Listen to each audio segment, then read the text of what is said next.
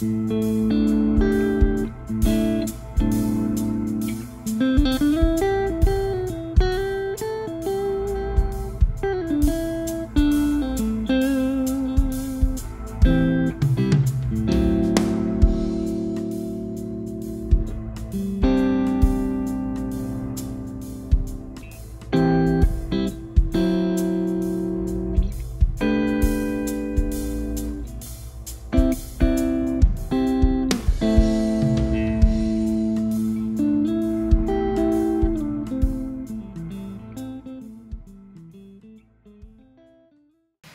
for week 15, we're going to look at some Kurt Rosenwinkel um, chordal ideas. If you've never heard him, um, you need to. So it's kind of like, you know, if you don't have enough vitamin D in your diet, uh, you need to get vitamin D in your diet.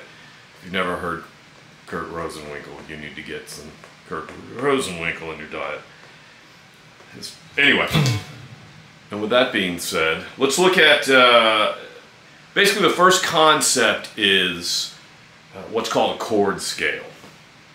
And so what we're going to do is we're going to look at we're going to look at a minor, how he approaches some minor chords and some minor movements um, in his chordal playing. So G major is the notes of A Dorian we just play, we take G major notes, but we center them around A. Not going to get in the modes too much, but that's what it is. So if we take uh, our notes on in the key of G, all the notes we're going to play are going to be out of that. Everything we're looking at pretty much is diatonic. Uh, I didn't want to, uh, he plays non-diatonic uh, notes in his chordal playing but uh, you kind of learn to, you need to learn the notes that are proper, for lack of a better word, before you can learn that there are notes outside of that. Uh, gives you a frame of reference. Anyway, back to our scale. So what we're going to do is we're going to build a chord off of each of those notes. Uh, I'm not going to really go into what the chords are. You should do that on your own. I think uh, most of us, uh, just through would come out with say 90% of the exact same way of labeling these notes. There's a bunch of reasons for that. But then there's another 10% that is up to your interpretation, up to how you use it, and up to sort of your past, uh, the chordal knowledge you already have, just sort of how you think of harmony. And that's very personal. Um, so you need to develop that on your own. Anyway, back to the chords we're going to build. So if we're in an A, there's just your garden variety uh, A minor 7. We're going to think of everything, think of that as your starting point and your frame of reference. But we're going to start with the G, that um, flat 7th, and the first chord's just this. Now we're going to go up to the next note in our scale, which is A, the root. And we're going to play that garden variety one that all of us is seen 8 million times. It's easy because it's one finger slapped across. The next is the ninth, so you got an A minor 9 chord. Uh, that's one of those chords that all of us would kind of label the same. It's played a lot. It's just, um, it is what it is. I use my pinky often. You can use your third finger. It kind of depends on what the, the move is. Um, you can play uh, Prince songs if you want to use it as a dominant. Um, so yeah, so we got the first three notes up the scale. But we're playing chords. Now our next one's this. Nice. A minor seventh chord. Um, now, so we've gone up four. When we get to, well, we, really, when we get to the fourth here, we're going to play this movement. And uh, as a side note, this back to that sort of personally and how you see harmony and what you've learned in the past. I learned this movement thinking of this exact shape not as an A minor, but as a D dominant. And I learned it from Robben Ford because, you know, it's blue he's bluesy and most a lot of dominant stuff.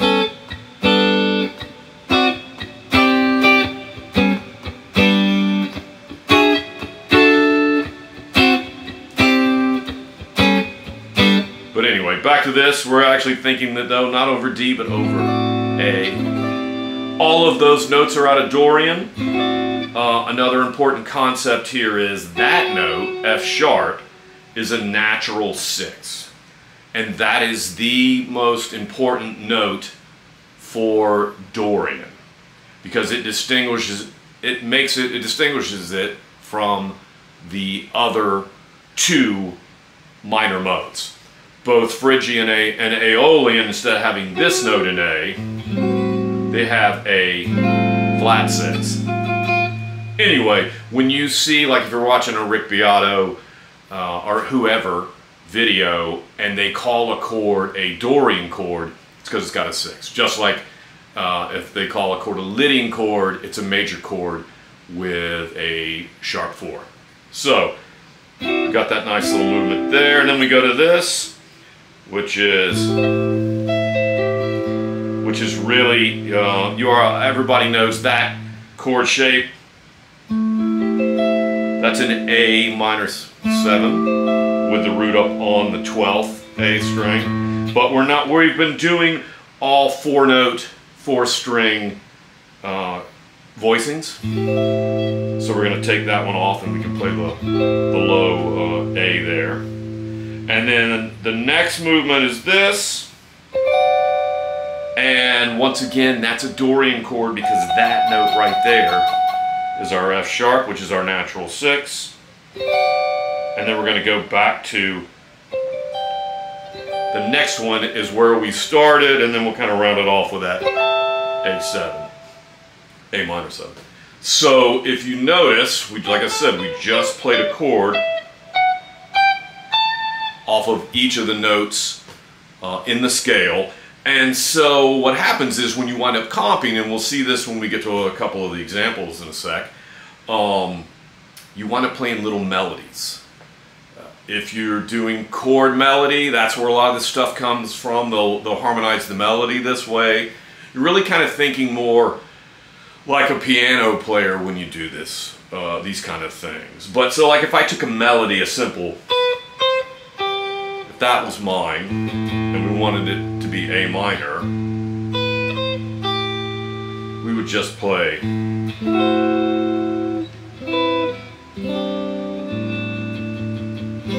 See how I outline that melody with those. Um, and um, yeah, so there we go. So now our first little um, chord movement that we're going to learn. I grabbed this from one of his songs. He may have even played a couple single notes in mixed in with this, but I just grabbed the chords. It's three of the voicings, um, but it's got one of those Dorian chords in it. And it was, uh, where I grabbed this from, it was a short one measure. So he wanted to be able to say real quick, he didn't have a whole lot of time. It's not like he's playing over four measures, he's playing over one. And it was kind of a faster tempo. But he wants to outline, hey, this is a Dorian. So he did that by just playing these three um, voicings.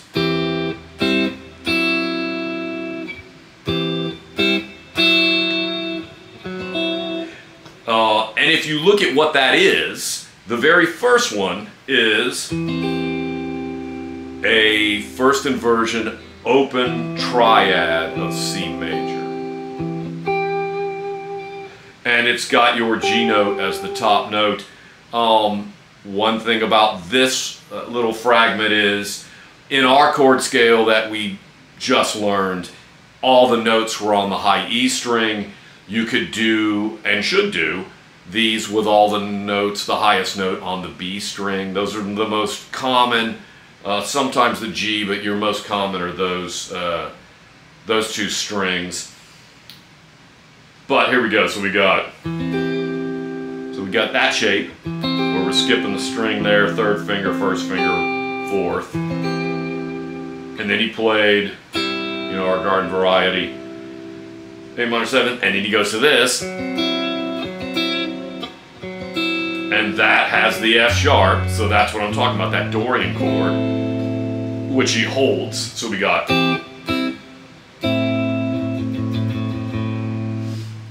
And as a side note, if you talking again like we did at the beginning about your past knowledge, your past history of chords, you might recognize that as one note, the root note, away from being a dominant ninth chord. So kind of something to explore, something to make some connections there. All right, so that was the first one. Uh, the second one is probably what I think is the hardest because I have trouble grabbing this last chord. I really need to practice it. But it goes like this. That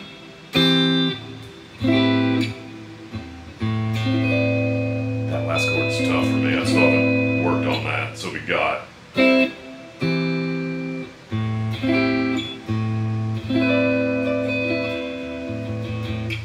Um, so we got basically, you know, garden variety. That one we learned before. Just learned this uh, open uh, voicing for first inversion major triad. And if you look, we're going up. Our melody notes are on the B string. Now we're going to switch and our melody notes are going to be on the high E string. So the next one's that. A lot of you will probably know that is a C major 7 voicing. With uh, major 7 up on, uh, you know, as the highest note. But in this case, we're using it over an A, not a C, so it's a minor sound. And then he switches to this chord. Yeah. That's what I'm talking about. I always have trouble getting that, on this guitar anyway, that high D note to ring out. But one of the concepts to take away from this is he's using common tones, which is very important, and he's using two common notes. And that has a very, that's very strong. When you use one common note, which sometimes it works, uh, when you're using denser harmonies, if you can use two, it really unifies uh, your part and it unifies your harmony. So if you look, he's got this, and then he's switching. He's going to keep these two low notes, but you got to refinger them. So you got that. So anyway, that's that one. Uh, the third one is.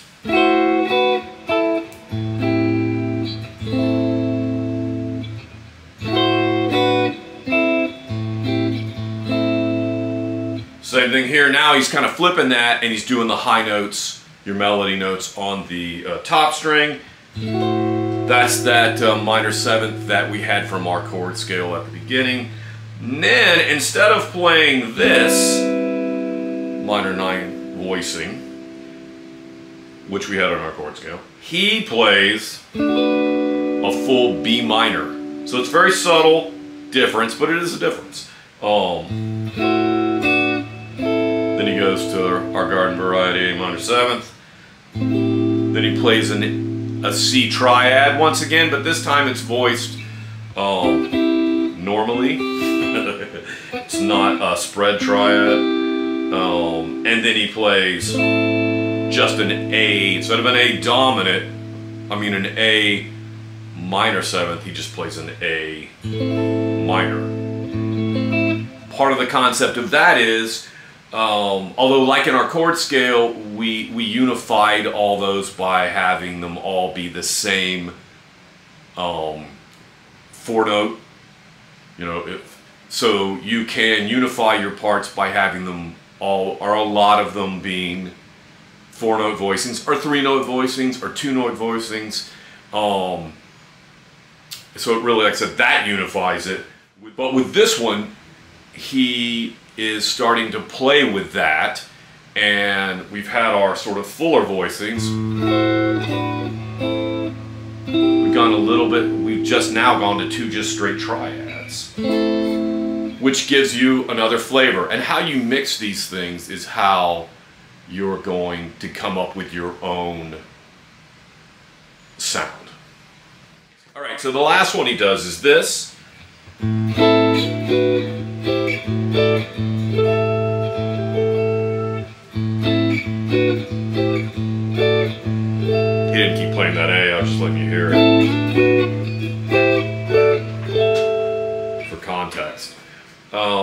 What he does is, that is a uh, A minor triad. These are all going to be triads.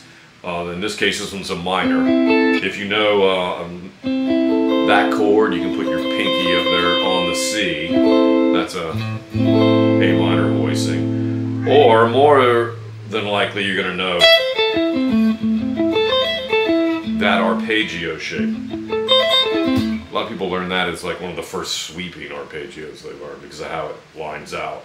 Anyway, he's going to take that. Now he's going to go to B and play the same thing. Same shape, just move it up two frets. So he's playing a B minor, oh, not a B minor 7, just a B minor arpeggio. And um, then he's going to go to a C major arpeggio. Know, if you've ever, that shape. But we're only playing the three middle strings. And then you move that same thing up to a D. Major triad, so. And then he's going to switch things up because he's just played um, triads and he's gone right up the chord scale. So there's no, it's not ambiguous at all. We're in A Dorian because that's what all these notes add up to. Then instead of landing on a regular, you know, your garden variety A minor seventh, he's going to land on this, which is a sus chord. So he's gone, which so a sus chord has the has no uh, major or minor third. So you don't know if it's major or minor. And after the root note, the third is the most important note um, that helps distinguish tonality in a lot of ways.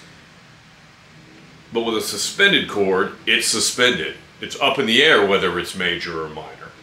So he, so it's a very ambiguous tonality. If you just play that, you can play. There's, you're open to a whole bunch of things you can do, and your ears open. Um, and here's that as an open sound. What's cool is he's just played a very, like I said, it's just screamed that, hey, we're in a Dorian, and then he lands on this sus chord. So it's a nice, back to that mixture of, um, of how you, how you shake up and how you mix up uh, your harmony. But anyway, like I said, that's uh, Kurt Rosenwinkel. He's an awesome player. Uh, you should definitely check him out. But until next week, thanks.